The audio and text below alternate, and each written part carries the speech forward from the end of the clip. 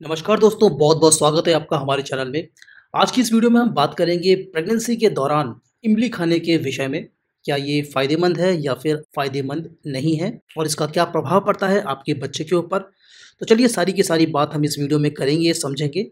तो वीडियो को शुरू करते हैं। प्रेगनेंसी के शुरुआती स्टेज से ही, शुरुआती दिनों से ही आपके अंदर जी मचलाने की समस्या हो सकती है। सुबह सुबह उठते ही आपको उल्टी आने की प्रवृत्ति होती है, आपका जी मचलाता है और आपके खाने की पसंद और नापसंद भी चेंज होती है। और बहुत महिलाओं को इस समय पे खट्टा खाने का मन करता है, कुछ नींबू खाती हैं, कोई अचार खाती हैं, कोई इमली भी खाती हैं। और ये कई बार इसलिए भी ज़रूरी हो जाता है क्योंकि आप अगर बहुत ज़्यादा उल्टियाँ कर रही हैं, आपका मन मचला रहा है तो इस तरीके की चीज़ खाने से कहीं ना कहीं आपका मन शांत होता है, आपका जी मचलाना बंद होता है, ये हमने अक्सर देखा है। इमली के अंदर काफ़ी अच्छी मात्रा में आपको फाइबर मिलेगा, जिससे आपको सबसे बड़ा फ़ायदा होगा प्रेगनेंसी के दौरान होने वाले कब्ज के अंदर, क्योंकि प्रेगनेंसी में आपका जो डाइजेशन सिस्टम होता है, जो आपकी पाचन प्रणाली होती है, वो कमज़ोर हो जाती है, आपको खाना पचाने में मुश्किल होती है, वहाँ पे आपका ये फाइबर बहुत ज़्यादा मदद करेगा और आपको कब्ज की समस्या नहीं होगी। क्योंकि फाइबर से आपका खाना सही तरीके से पचेगा तो आपका अनावश्यक वज़न भी नहीं बढ़ेगा। प्रेगनेंसी के दौरान आपका अनावश्यक वज़न बढ़ना बिल्कुल भी सही नहीं है। आपका जो वज़न है, वो नियंत्रित रहना चाहिए। बच्चे का भी बहुत अधिक वज़न बढ़ना सही नहीं होता है। इमली के अंदर आपको बहुत सारे विटामिन मिल जाएँगे दोस्तों। इसमें आपको विटामिन ए विटामिन सी और विटामिन के मिलेगा। और ये सब के सब पोषक तत्व आपके लिए भी ज़रूरी है और गर्भ में बच्चे के लिए भी बहुत ज़्यादा आवश्यक होते हैं। इमली के अंदर नियसिन एलिमेंट की काफ़ी अच्छी मात्रा होती है, जिस वजह से बच्चे की जो त्वचा का विकास होता है, वो बहुत बढ़िया तरीके से होता है। उसका आहार, तंत्र और उसकी तंत्रिका, तंत्र का विकास भी बहुत अच्छे तरीके से होता है। रक्त की कोई कमी ना रहे आपके अंदर, शरीर के अंदर।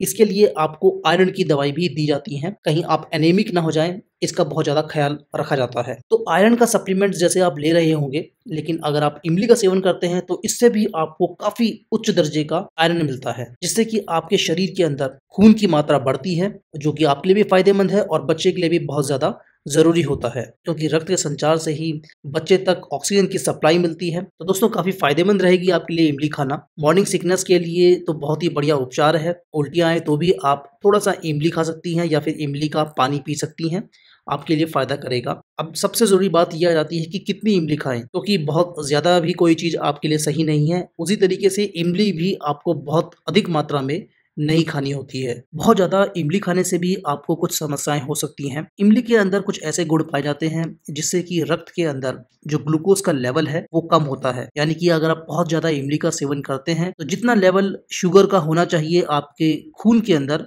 उससे वो कम हो जाता है, जिससे कि आपको वीकनेस हो सकती है, आपको चक्कर भी आ सकते हैं, या फिर आप बेहोश भी हो सकती हैं। कुछ महिलाओं को गर्भावस्था के दौरान पाइल्स की समस्या भी हो जाती है तो ऐसी महिलाओं को भी इमली का सेवन नहीं करना चाहिए, क्योंकि इमली खाने से ये समस्या जो है, अपना और विकराल रूप ले लेती है। तो बहुत ही कम मात्रा में आपको इमली का सेवन करना है। मात्रा की अगर मैं बात करूँ तो आधी चम्मच से भी आधी इमली एक दिन में आपके लिए पर्याप्त है। उससे ज़्यादा इमली का सेवन आपको नहीं करना है। रोज भी अगर आप इमली का सेवन ना करें तो बहुत बढ़िया है। मात्रा की दोस्तों, अगर मैं बात करूँ तो हफ़्ते भर में अगर आप एक चम्मच इमली का सेवन करते हैं तो वो आपके लिए पर्याप्त है। इससे अधिक आपको इमली का सेवन बिल्कुल भी नहीं करना है। वीडियो में इतना ही था। अगर आपको वीडियो पसंद आई हो तो लाइक बटन को अवश्य दबाएँ। चैनल में नए हैं तो सब्सक्राइब करें, बेल आइकन को प्रेस करें, ताकि आपको हर आने वाली वीडियो का संदेश मिल सके। मिलेंगे अगली वीडियो में। नमस्कार।